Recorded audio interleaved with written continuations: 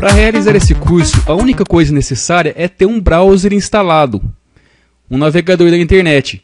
Pode ser o Internet Explorer, pode ser o Mozilla Firefox, ou no meu caso aqui eu estou usando o Google Chrome.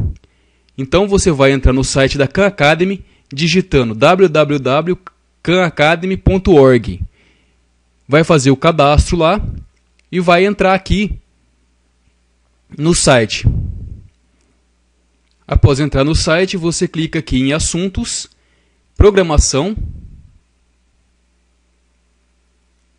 e criar novo programa JS mais processo em JS. Aí então vai ser aberta uma janela que vai ser o nosso ambiente de programação. Quando a gente cria um programa no site da Khan Academy, ele é mostrado em uma tela de 400 pixels por 400 pixels. Então eu vou desenhar para vocês aqui um plano cartesiano para vocês entenderem como funciona esse espaço que a gente vai ter disponível. Eu desenhei o eixo X e o eixo Y. Tudo que a gente vai programar, a gente precisa de uma, uma referência nessa tela. Né? Então como é que a gente vai fazer isso? A gente vai utilizar as coordenadas. Então a coordenada X ela vem primeiro e vai de 0 até 400. Ela começa do lado esquerdo e termina no lado direito. Então, no lado direito a gente vai ter o valor mais alto. E a coordenada y da mesma forma. A coordenada y ela vai de 0 a 400. O valor 0 vai ficar em cima e o valor mais alto fica embaixo. Então você imagina aqui, ó, 0, 400, 0, 400. Eu quero desenhar um ponto no meio da tela. Como é que eu vou fazer isso? Se aqui é 0, aqui é 400, eu vou pegar aqui o meio, seria então 200. Da mesma forma aqui, então seria 200 por 200. Então o primeiro comando que a gente vai aprender aqui é o comando chamado point. Então eu vou dizer aqui no eixo x eu quero a coordenada 200 e no y 200 e foi desenhado ali bem no centro um pontinho, mas ele, é, ele foi desenhado muito pequenininho. Então, para poder ver ele melhor, o que, que a gente vai fazer? A gente vai é, aumentar a grossura do traço. Aumentando a grossura do traço, então até um ponto ele vai aparecer maior. Então, como é que eu faço isso? Comando stroke, weight. É, o peso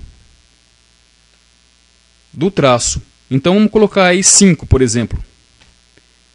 Agora dá para ver o ponto um pouco melhor.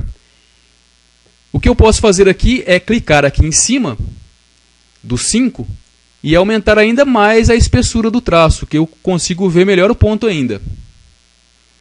Vamos deixar aqui 5 então.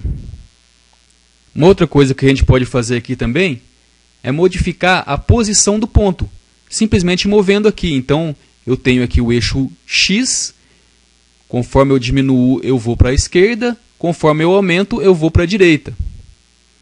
Então eu vou deixar aqui 350 e aqui 350 também.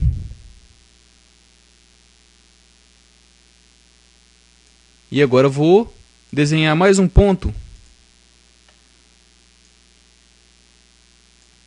valor de 50 para cada um. E por que, que eu fiz isso? Porque eu só quero mostrar para vocês aqui o próximo comando, que é line, ou seja, linha. A linha exige, então, ao, ao invés de um par de coordenadas, ela exige dois pares de coordenadas. Então eu vou começar aqui 50 por 50 e 350 e 350 para o x e para o y. E vamos lá? Pronto. Eu desenhei aqui então uma linha que começa é, nas coordenadas XY 50, 50 e termina aqui 350, 350. Agora, para encerrar, a gente vai aprender um último comandinho aqui que se chama stroke. Na verdade, ele poderia chamar stroke color, porque ele define a cor do traço, mas eu só escrevo stroke. E aqui no ambiente da Khan Academy, ele facilita bastante você escolher a cor do traço, porque a partir do momento que você coloca aqui, escreve stroke, ele deixa você escolher aqui a cor, simplesmente clicando nela. E mais uma coisa aqui, por que, que eu coloquei esse comando aqui em cima e não embaixo? Porque se eu colocasse ele embaixo, tudo que eu coloco embaixo é o que vem por último. Então ele não ia funcionar. Então agora a gente vai voltar ele aqui para cima para ter o efeito que a gente queria. Na próxima aula a gente vai aprender mais alguns comandos. E com esses poucos comandos a gente vai aprender a fazer um efeito desse tipo aqui. Então, fique com a gente e até o próximo vídeo.